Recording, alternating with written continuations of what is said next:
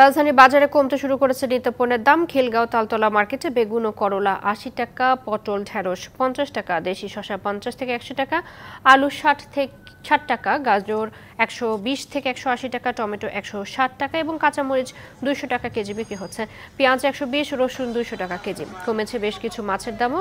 ভালো মানের পাঙ্গাস দুশো টাকা, রুই মাছ তিনশো আশি থেকে চারশো টাকা, পাবদা চারশো থেকে চারশো পঞ্চাশ টাকা কেজি বিক্রি হচ্ছে। এক কেজি ওজনের ইলিশ প্রায় তিনশো টাকা কমে পনেরোশো থেকে ষোলোশো টাকা কেজি, পাঁচ টাকা কমে পঞ্চাশ টাকা হালি বিক্রি হচ্ছে ডিম। বিক্রেতারা জানান, চাঁদাবাজি কমে যাওয়ায় কমেছে পণ্যের দাম। পণ্য আনার সময় রাতে নিরাপত্তাহীনতায় ভুগছেন তারা। বাজারে এখনও ক্রেতার সংখ্যাও তুলনামূলক কম। চাঁদাবাজি পুরোপুরি বন্ধ করার দাবি ক্রেতাদের।